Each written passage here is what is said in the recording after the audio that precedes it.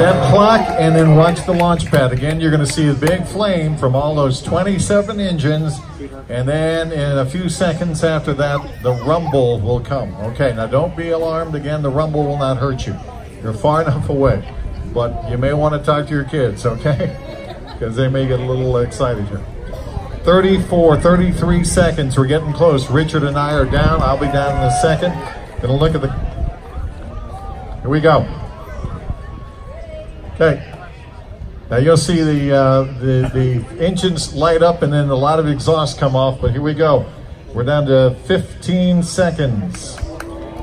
13, 12, 11, 10, 8, 7, 6, 5, 4, three, two, one. Engines are on.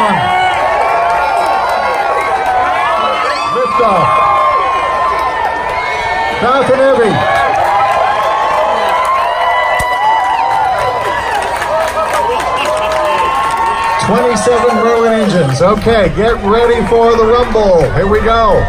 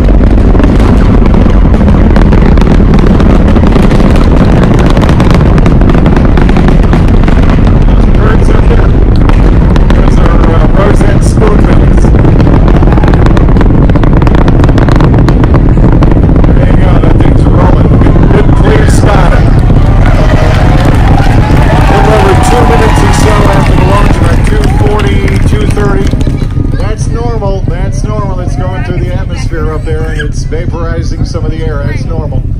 Okay, and it uh, keeps rolling. Now, after uh, two minutes or so, two and a half minutes, uh, then the uh, the outer two core stages will disconnect. It's going to be hard to, to see those, but uh, you may, you probably will see when the two core stages come back down, and then they start doing their boost backs to come back down. There you go.